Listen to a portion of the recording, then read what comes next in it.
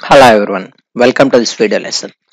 In this video lesson, we are solving a problem from a topic mechanical properties of solids. This is what the problem is. If the radius of a wire is stretched double to its initial length, initial value, how does its increase in the length is get affected when compared with the first case? So, its increase in the length is affected means we have to talk in terms of Young's modulus of the material. We know Young's modulus is defined as the ratio of longitudinal stress to that of the longitudinal strain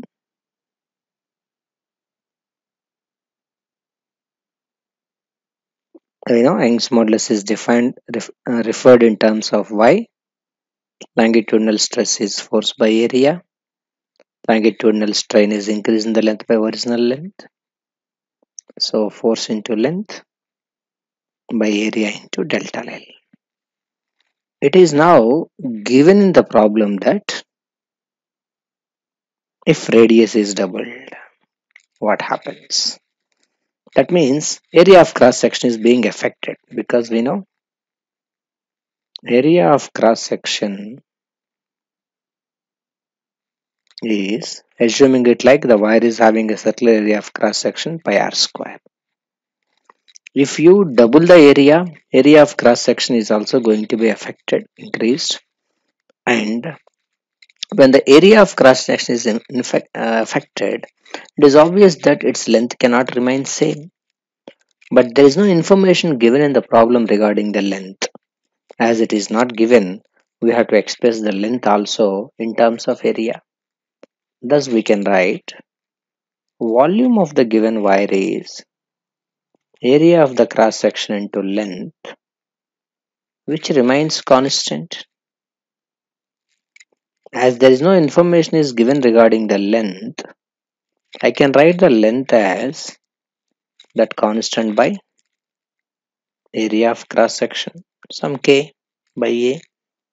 So I can rewrite the Young's modulus definition as force into length but length is not known to us. I know only area. So I will write in the place of L k by a by area of cross section and delta L. Rearranging the terms force into k by a square into L. Substituting the value of the area of cross section as something like pi r square I can write Young's modulus as force into some constant the place of area pi r square assuming like area of cross section is circular and L. You know, I have to write, of course, this L is nothing but equal to increase in the length delta L.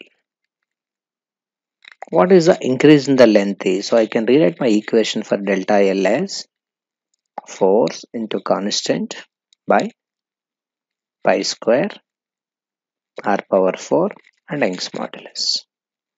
One thing that you need to know for a given wire, Young's modulus is constant, pi square is constant, k is of course constant, assuming we have applied a constant force, it's not a variable force. Taking all that into consideration, you will get your delta L directly proportional to 1 by r power 4 as all the other terms are constants. Then I can write delta L1 by delta L2 equal to R2 by R1 whole power 4 because it's inversely proportional to R power 4. R2 is 2R in our problem. Radius is doubled. R1 is R itself whole power 4. So 2 power 4 is nothing but equal to 16. So increase in the length in the original radius and when the radius is doubled is 16 is to 1 that means delta L2 equal to delta L1 by 16 that means the wire is going to expand by only 1 by 16th when compared with the expansion in that of a first case. Thank you for watching. Keep coming back for more and more video lessons. Thank you.